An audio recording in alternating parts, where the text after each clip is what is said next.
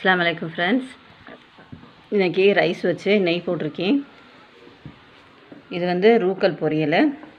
இது வந்து வெண்டைக்காய் பருப்பு கூட்டு இது ரசம்.